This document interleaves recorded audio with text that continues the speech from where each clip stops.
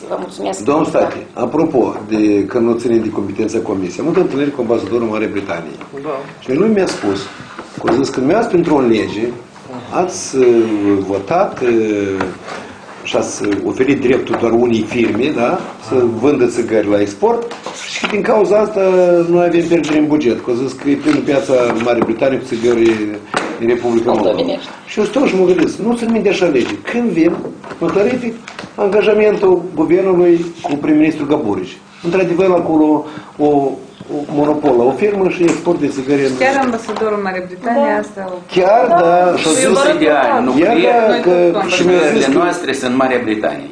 da, Dar de ce nu? A noastră ajung unde vreți. Și Marea Britanie Mai ales pierde prin din contrabandă, bugetul da. lor. Unde vreți. Marea Britanie a se- noastră de 11 lună să vând domnul Eu deputat.